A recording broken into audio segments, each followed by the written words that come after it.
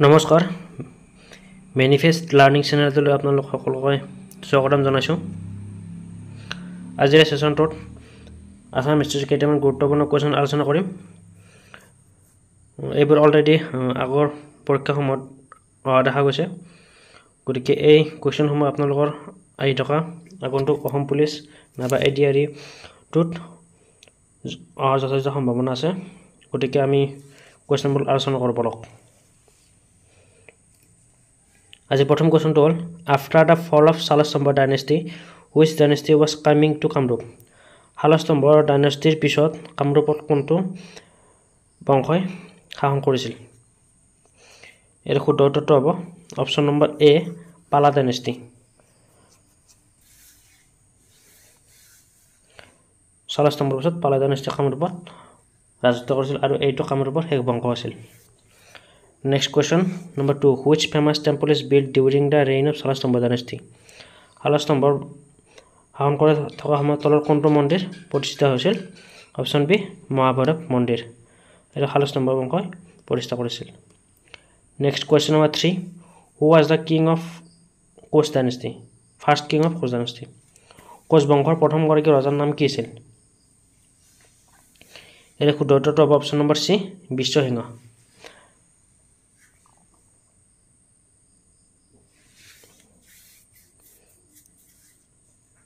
Biswa Singha Koch ৰাজৰ প্ৰতিষ্ঠাপক বুলি জনা যায়। Next question number four the capital of Koch kingdom was Koch বংশৰ ৰাজধানী কি আছিল?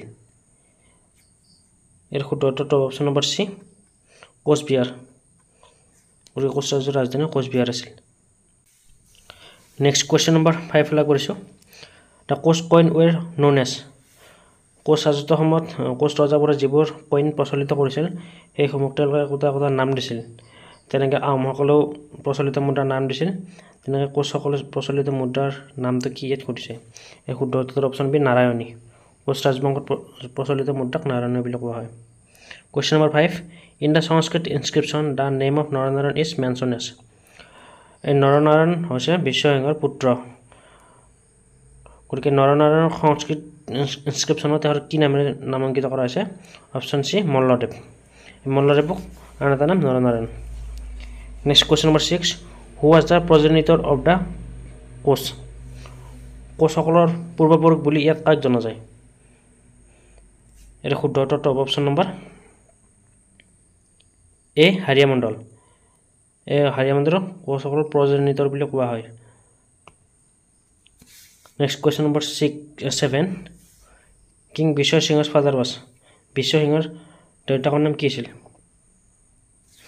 এই বিশ্ব সিঙৰ দেউতাকৰ নাম আছিল হাৰিয়া মণ্ডল।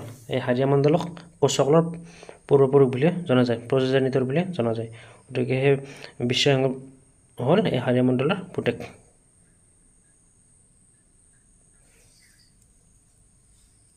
কুৱেশ্যন নম্বৰ ছেভেন হ'ল গতিকে next question question number eight in fifteen eighty five Koch kingdom was visited by a English traveller which he who was he পোন্ধৰশ পঁচাশী খ্ৰীষ্টাব্দত কোচ ৰাজবংশ বংশত এগৰাকী ইংলিছ ট্ৰেভেলাৰ আহিছিল। গতিকে তেখেতৰ নাম কি? ইয়াত কৰিছে ইয়াৰ শুদ্ধ উত্তৰ option number A Ralph Fitch next question number nine the Gohain Kamal Ali road was constructed by যিটো গোৱাই কমল আলি নামৰ ৰোড আছে সেই ৰোডটো কোনে কনষ্ট্ৰাক্ট কৰিছিল বা নিৰ্মাণ কৰিছিল ইয়াত সুধিছে।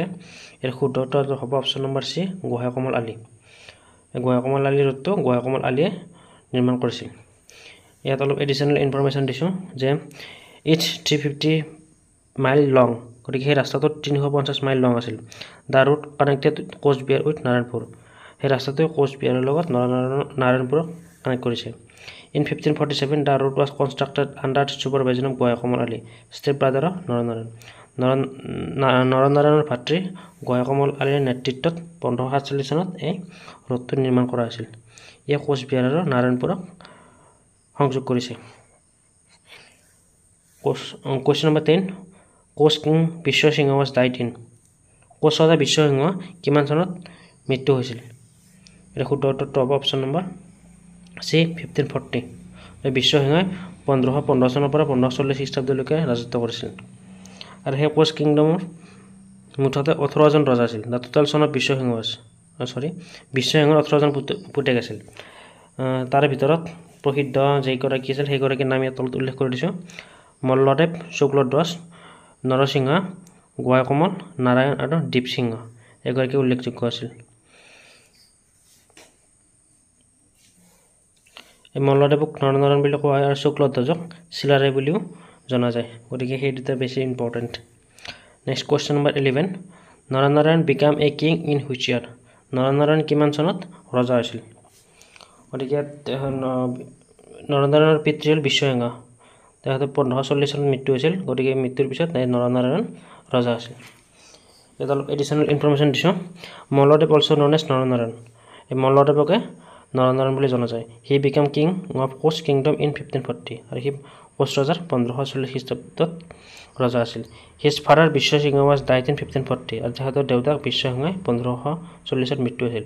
At that time both Malladev and Shukladas were at Kashi আৰু সেইখিনি সময়ত মল্লদেৱ আৰু শুক্লদাসে কাশীত তেওঁলোকে শিক্ষা গ্ৰহণ কৰিছিল। আৰু তেখেতক শিক্ষা দিছিল ব্ৰহ্মানন্দ স্বামী নামৰ এগৰাকী ঋষিমুনিয়ে। Next question number twelve name the Ahom king who was the contemporary of Koch king Biswa Singha গতিকে ইয়াত আহোম ৰজাজনৰ নাম সুধিছে যিগৰাকী কোচ ৰজা বিশ্বসিংহৰ সমসাময়িক আছিল। গতিকে শুদ্ধটোৰ option A চুহুংমুং next question number thirteen the battle of Pichlipariya took place in Pichlipariya ৰণ কিমান চনত হৈছিল ইয়াত সুধিছে। ইয়াৰ শুদ্ধটোৰ option number C fifteen forty seven এই পিছলিপৰীয়া ৰণ আহোম আৰু কোচ ৰজাৰ মাজত হৈছিল। Next question number fourteen the treaty of Majuli took place between a treaty of Majuli Majuli সন্ধিয়া কাৰ কাৰ মাজত হৈছিল সুধিছে? Treaty of Majuli took place in between Koch king Naranarayan and Ahom king Sukhampha in fifteen sixty three গতিকে বহুতকেইটা information সোমাই আছে। পোন্ধৰশ তেষষ্ঠি চনত হৈছিলে চুক্তি কাৰ কাৰ মাজত? কোচ ৰজা আৰু আহোমৰ মাজত। আৰু কোচ ৰজা আছিল নৰনাৰায়ণ আৰু আহোম ৰজা আছিল চুকাম্ফা গতিকে ইয়াত বহুতখিনি বস্তু সোমাই আছে। গতিকে আপোনালোকে ক্লিয়াৰ কৰি চাব। গতিকে আজিৰ এই ছেশ্যনটোত এই চৈধ্যটা কুৱেশ্যন আগবঢ়ালোঁ। যদি ভিডিঅ'টো ভাল পাইছে তেন্তে লাইক কৰিব। লগতে চেনেলটো ছাবস্ক্ৰাইব কৰিবলৈ নাপাহৰিব। Thank U